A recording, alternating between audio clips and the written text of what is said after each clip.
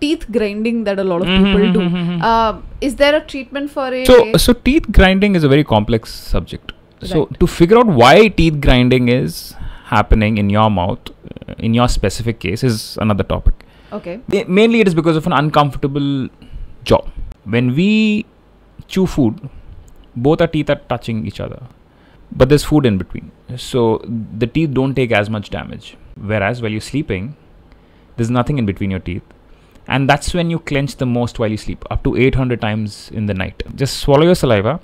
You feel that teeth touching each other. Yeah. That happens 800 times at night.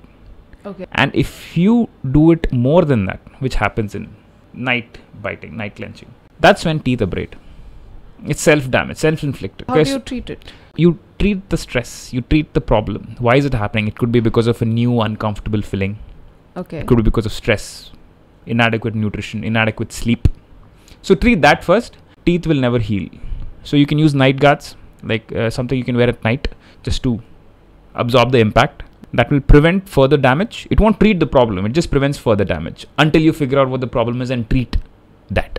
Can you look at my teeth and tell me if I do night? A good uh, sign of night grinding is like when your tooth are up and down.